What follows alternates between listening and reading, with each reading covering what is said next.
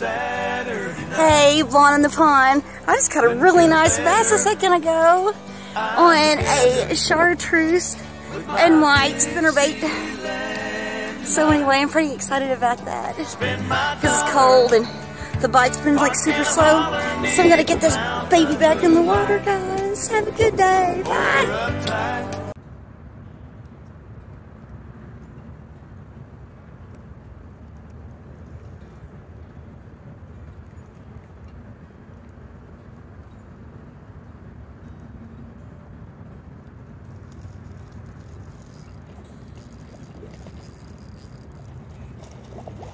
Oh, and he's Hello, friend.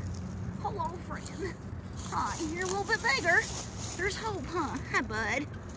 Hi, bud. Hey. You're getting a little bit, we're getting bigger here. We're gaining. We got gains. It's always a good thing. See? I'm stoked. Winter fishing with Blonde in the Pond with the McCracken County Public Library, guys.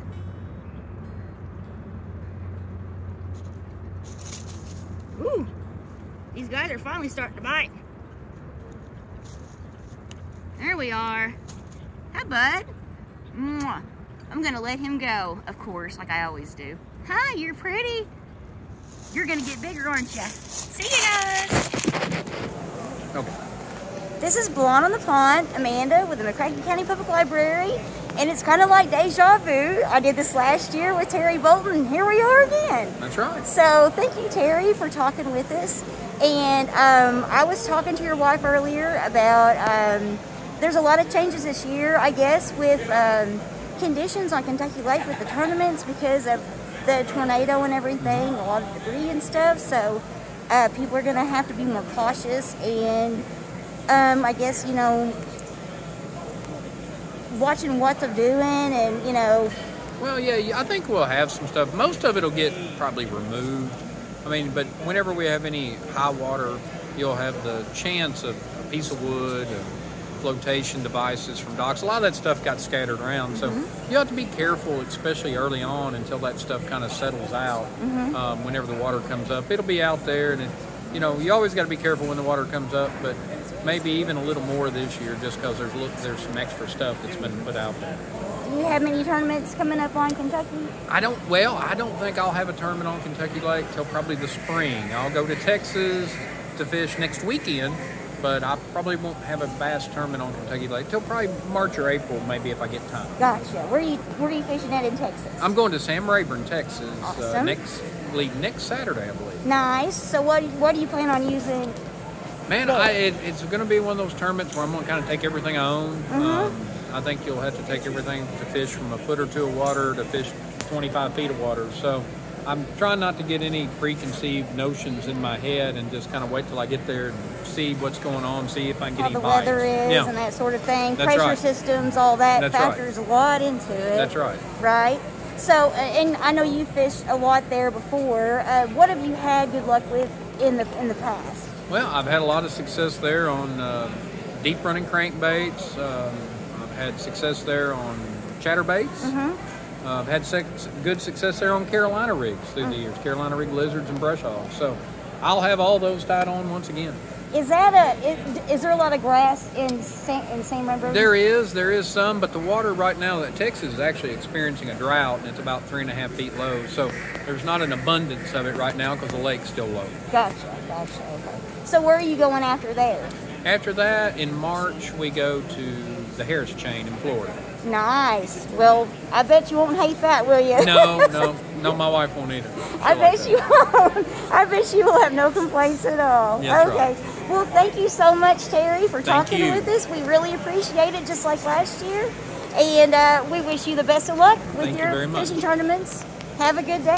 Thank Bye, guys. dirty water, and it also works well in clear water.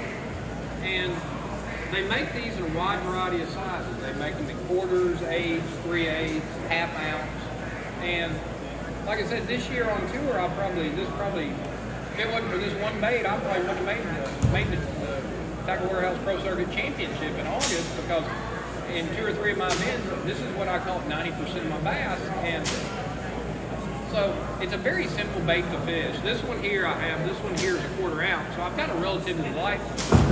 And I've got a Zoom Hey, this is Blonde on the Pond, Amanda with the McCracken County Public Library. And again, this is like last year. It's kind of like deja vu. This is Mark Menendez. He is a well-known angler from our area in Western Kentucky. And I'm so glad that he is talking with me today.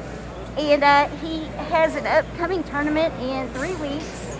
And anxious about that. So tell us a little bit about that. Are you, uh, so what is um, the preparation and what are you going to use? Well, right now it's the first Bassmaster Elite Series of the year, so I'm trying to get my new boat ready. I have a brand new 22 um, Skeeter that I don't have parts for because of the supply chain issues. I don't have depth finders, I don't have trolling motor, I don't have batteries, so it's kind of hard to fish without those things. But all of that is coming together slowly.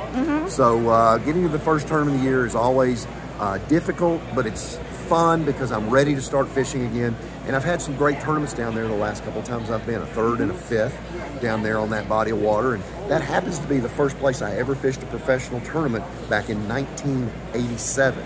So most of your folks that are coming to the library were probably weren't even born then, but that's uh, that's kind of a homecoming for me, Amanda, to go back to the St. Johns River. Awesome. So, like, what did you have the best luck with using the first, whenever you had, whenever you uh, won those tournaments? Well, it's always down in Florida. A Florida bass is a fish that's very cautious and very slow. So it's very slow and methodical presentations. Mm-hmm. I caught them on a on a big plastic worm the first year. Last year I used a Rage Craw and a space monkey, soft plastic lures on the bottom. Mm-hmm. Very typical for Florida. And I mm-hmm. assume that that's what's going to happen again this year. So, are you using weight, no weight? Using a, a- the lightest weight I can get away with, an eighth ounce, maybe a 3 16 ounce slip sinker, sliding slip sinker on there Right. to get it on the bottom and fish it excruciatingly slow. They like it very slow. Lots of patience. Yes, slow lots and of slow. Like right now, like it's so cold and you know it's hard to fish in the winter, especially if you're like you know a fast, you know a speed fisherman and you you know you're used to using you know like crankbaits and spinner things baits like that. and things like that. Right. You have to slow down. Bass are cold-blooded creatures, mm-hmm. so they are the same temperature as the water, as their Right. environment. So if it's 40 degree water, that's how cold they are. They're 40 degrees. So they really don't want to take off and do a sprint to chase a lure. So you mm-hmm. have to fish something very slow. Right now, a suspending jerkbait is a great way to go. You can catch them on a crankbait, but you've got to reel it so darn slow on the bottom. Mm-hmm. It's hard to make yourself do it. I've been fishing a lot this winter because we've had such nice days, mm-hmm. and I've spent a lot of time with a drop shot. That's a weight on the bottom. Your bait is six to ten inches above on a hook, and fishing it in a single space, shaking it, making that little drop shot bait move very slowly. That's a great idea. I didn't think about using that. Caught Huh. lots of big smallmouth above Kentucky Dam and below Kentucky Dam this fall, catching a lot of three, three and a half pound fish. Awesome. The Asian carp numbers seem to be reducing. TWRA, Tennessee Wildlife, um, put a report out the other day saying that they're not finding the numbers of Asian carp in which we had due to lack of an Asian carp spawn over the last couple of years and the commercial fishing that we've been doing on the lake. So Right. fishing is getting better. Thank goodness. So, are you still using your Ned rig too? I know you're a Ned rig guy. Well, I'll, I will use that little thing when I need to. Um, if I can catch them on that drop shot, I can fish it a little faster than that Ned rig. So I like the drop shot a little bit better. But a Ned rig is a great so, way what to catch color are you using right now? Right now, I'm using it's a it's a white lure. I'm gonna step out of frame real quick and grab that.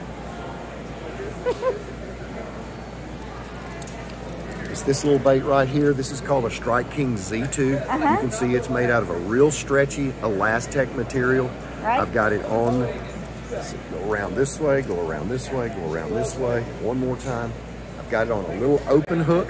And the hook is actually red, Amanda. You can see that hook is actually red. Uh-huh. I don't, Kind of like a blood. Kind of like a little bit, but I don't know what that does. That seems to really attract those smallmouth. Uh huh. You can see my weight is here on the bottom. Yeah. And when I jiggle that bait, you can see how much that bait moves in the camera frame. Mm-hmm. That is what is happening in the water. And the good thing is, is that fish is seeing it at an eye level. When the bait's on the bottom, he doesn't have a hand to reach down there and pick it up, put it in his mouth. That's right. So when it's right here at eye level, that darn thing, they just swim right over there, eat it, and try to take it to their house. So, what time of day are you doing this? Um, in the in the winter, I like to be there first thing in the morning. Mm-hmm. As soon as the sun comes up, there's always a good bite. But sometimes it's so darn cold you can hardly stand being out Oh, there. I know. But there's always a good bite from noon until dark, and right before it gets dark. Mm-hmm. If you've got a farm pond, uh, a small little lake next to your house, it's always good to go right there before dark Oh, because yeah. they know that they're going to be in the dark for a lot longer That's in right. the wintertime. So they are going to get one more bite. They want that belly full. They want it Yep, just like I yep. They're yeah, and they're kind of like us. They're kind of like people in the winter. You know, they kind of get lethargic and lazy. So. Well, that's exactly how they are. Right. You just need to fish slow and methodical. that's right. Yeah, and it's it, it it's it takes some getting used to, and it's a lot of patience. And it's like, oh my gosh, it's a it's a slower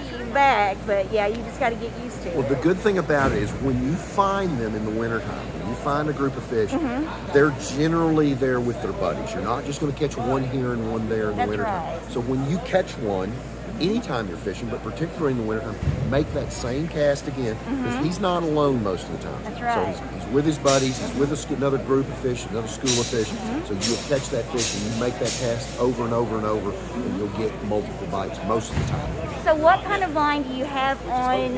What kind of line are you using on this? This is eight pound Seaguar InvizX fluorocarbon, but it's eight pound line. It's really, really light line. You can see it's very clear and white. Right. It's uh, invisible when it hits the water, but it transmits that strike back to me. The lightest little strike, I can tell because it's so sensitive and it's really, really abrasion resistant. Because this time of the year, we're fishing around a lot of rock. That's right. Rock holds heat. They- There's crayfish, all kinds of things like that. So I need a line that's going to stand up for me. So that Right.